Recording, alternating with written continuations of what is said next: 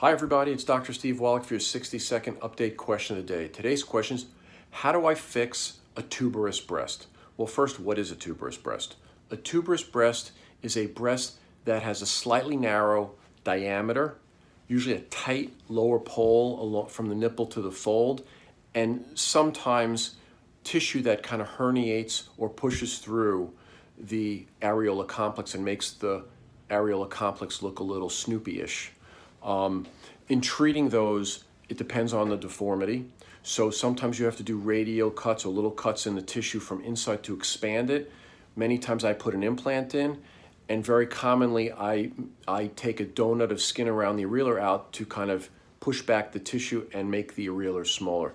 That is usually the most um, common way to re repair a tuberous breast deformity.